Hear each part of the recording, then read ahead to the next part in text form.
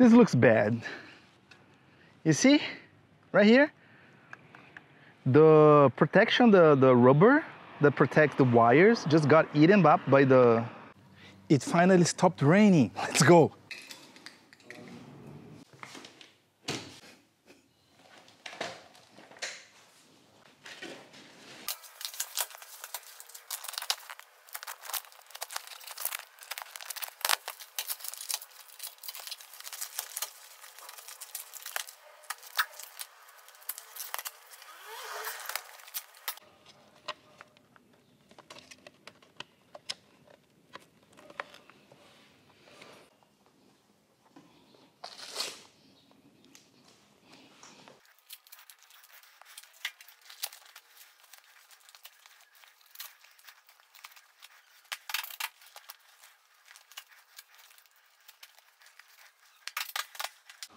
Today I'm gonna test putting the batteries inside of a backpack and my skate bag here, it has like this really convenient pocket down here, which is meant to put your shoes, like you take off your shoes and put them here, so it's like completely separated from the, the interior of the backpack. But since the zipper is downside, I think it would be the perfect spot for putting the battery, so let's try it like this and like this. Let's see, like here. And we're gonna test to see if it holds, if everything goes well. Oh my God, these are so heavy. By the way, I could run this setup with only one battery. I don't know why I'm not doing that. Uh, maybe because I want to test range. I didn't test range so far, but uh, I'm pretty sure, like, I know one battery can power both.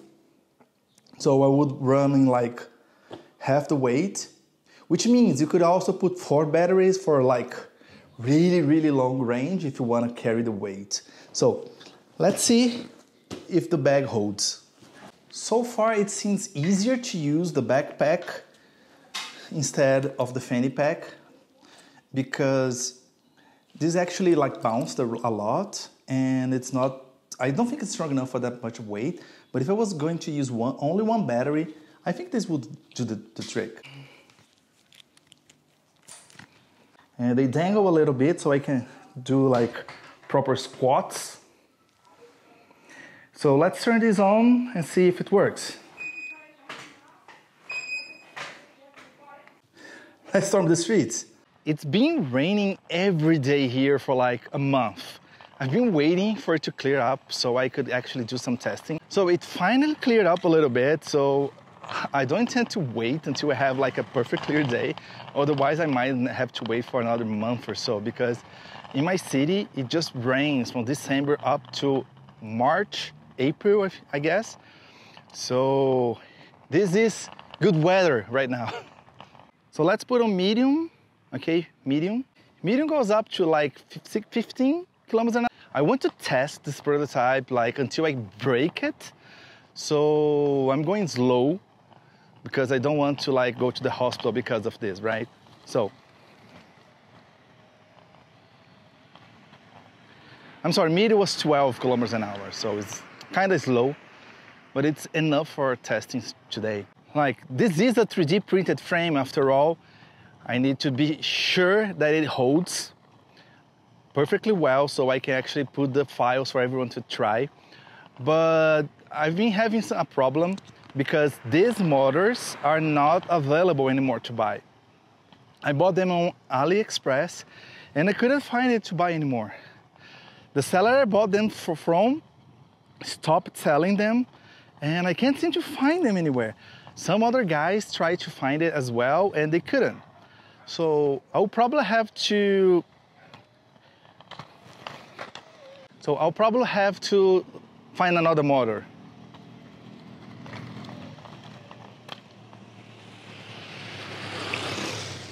You see? The theoretically, you could use any you could use any electric skateboard hub motor And you just need to adapt it to fit inside of an inline skate. Of course, you have a square wheel, which is not the best for inline skating. Okay, you know what? I'm gonna put on high. I can't stand going like 12 anymore.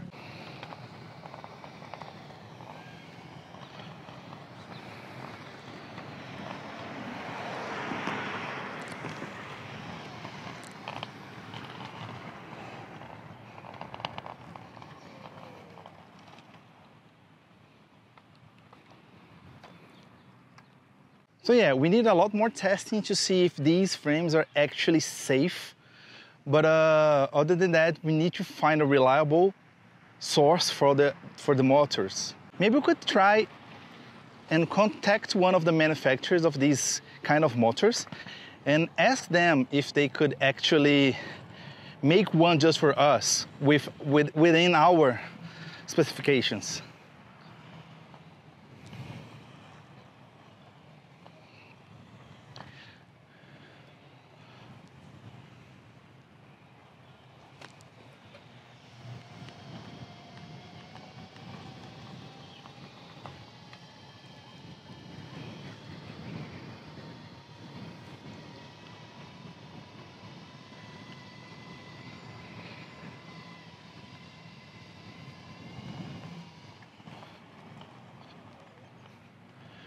Of course, if we could actually build, like if we could actually order a custom motor for our for our skates, what should be what should be the specifications?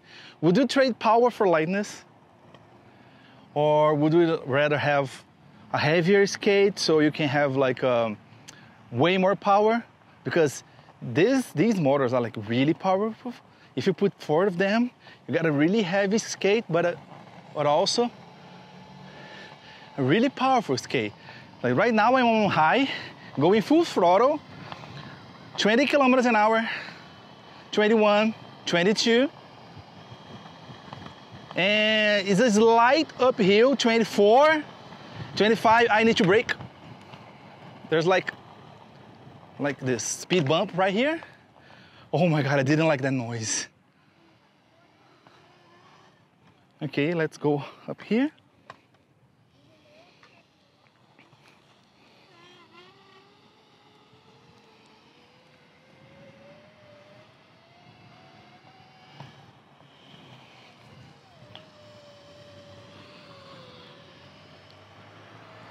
Like I said before on my other video about frame sizing, this frame size offers a really good maneuverability and a nice stability, but it's not as stable as I would want to if I'm going like 40 kilometers an hour.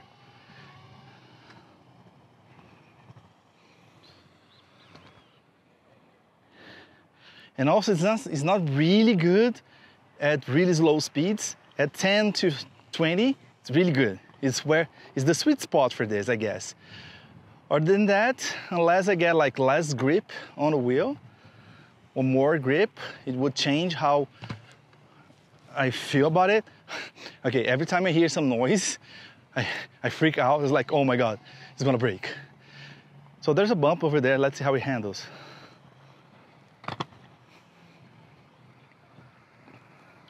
So far so good, but I'm feeling something's not I, I think the wheel got aligned. Let me see.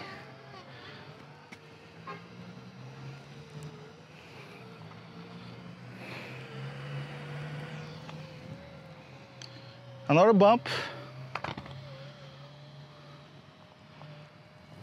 So yeah, there's a lot of things we have to test about this concept because we don't know yet like when I made them, I figured like, yeah, this is going to work, but it might not. Lots of testing are needed, guys.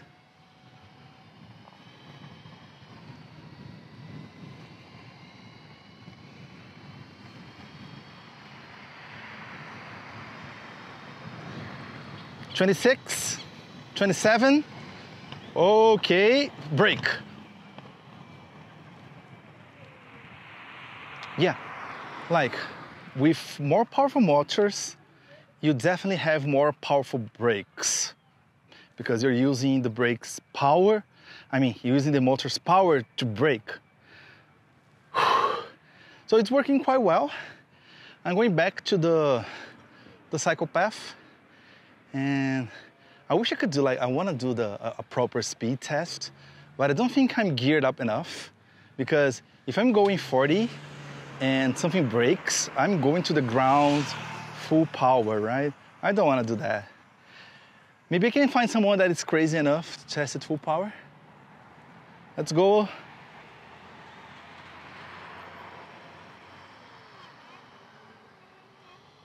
Yeah, I can hear the motor struggling a little bit when I go slowly on those slight uphills. Like with only two motors, it kind of yeah, I will not I will not jump on these, okay guys? Sorry. Sorry about that.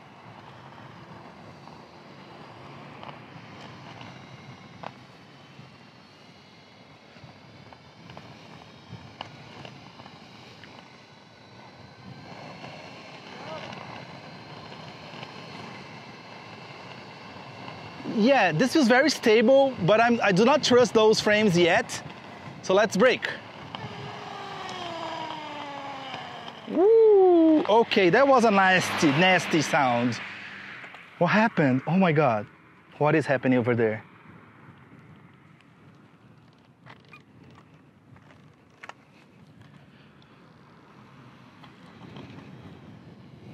Okay, I need to sit down. One water just stopped working. Let, let me try to figure it out. Maybe it got over, maybe it, it overheated. I don't know.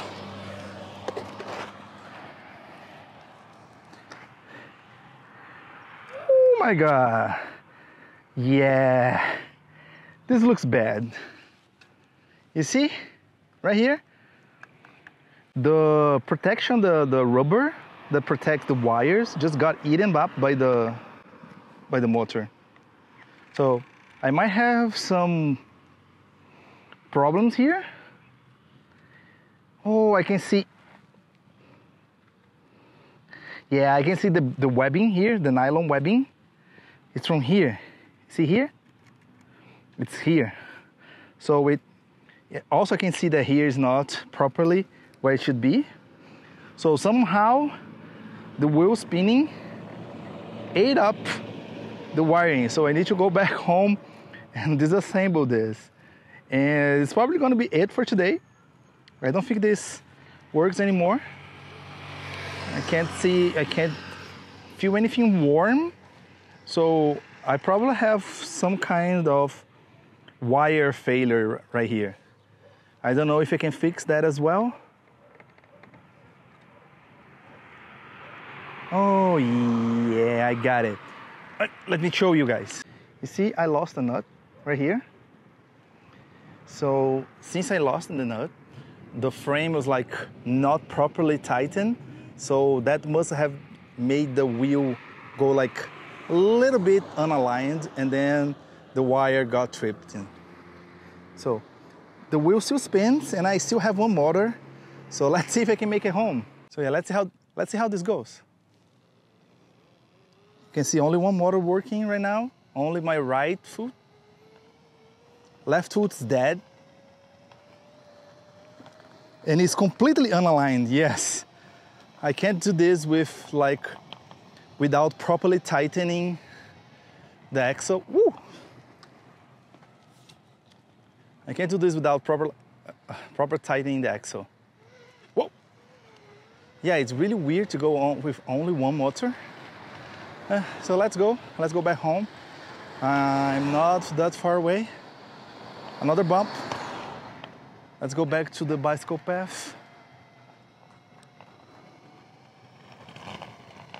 Another bump. Whoa! Okay, nasty sound. What happened?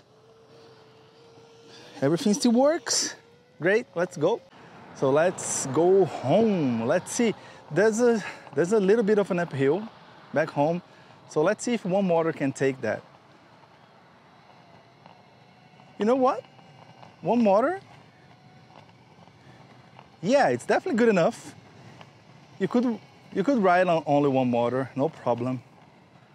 I don't know about overheating though. Like, it feels the motor is like overexerting itself, right? I feel like I'm asking too much of one motor only, but it works. Brake. Let's go on the grass. Woo! Skates seem to be fine. So yeah, guys, I wanted to do like really small test, and then something went wrong really fast. Okay, I am on pro mode. I'm only using one motor, and this is an uphill. So it is really, really struggling.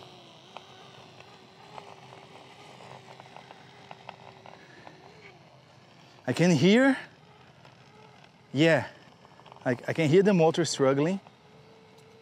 Yeah, I'm going full throttle right now. It's not, yeah, no. It's really hard on one water only. It feels a very, very hot. So I guess it's not a good idea to run with only one motor going uphill.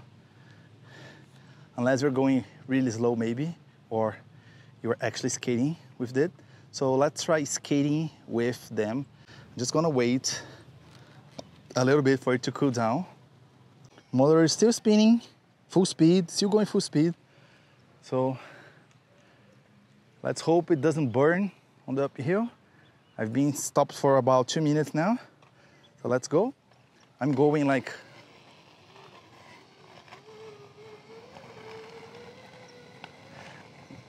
I'm using a technique to go like this. Oh yeah, well, my left foot starts to drag. Oh yeah, I can't do that. Let's stop.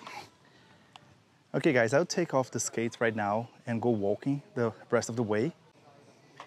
See, it's not, I mean, I, I can't skate, but something's wrong with that motor being disaligned. And it kind of is not, it's not rolling properly. So right now only I'm skating normally. Yeah, this is less of an uphill. Let's take one of the motors off the ground. Yeah, I can hear the motor struggling, right? It's really, really hard for it. Woo! Now I can't put my other foot on the, oh my God. Woo, okay, it's over. Um, now the left foot is not rolling anymore. When I put it on the ground, it just got like kind of feeling. Like I heard the noise of something like mechanically not letting the motor spin. So probably the wiring and all the, the things that got caught in the axle. Also the motor not being able to be aligned. My camera battery died uh, I'm back home already. I managed to crawl all the way over here. So what about the other things about the test, right? So the motor failed because of the, the, the axle was like loose. Never gonna do that again. I don't know if the motor is completely broken or not because probably the wiring got like eaten by the, the thing.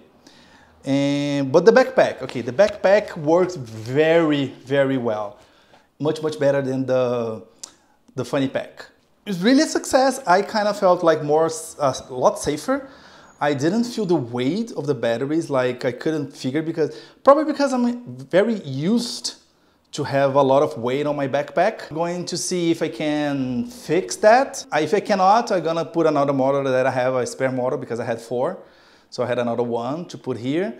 And I'm thinking about doing a speed test to see like max speed with two motors. Today I got to 27 kilometers an hour, which is not fast, not slow. It's kind of good.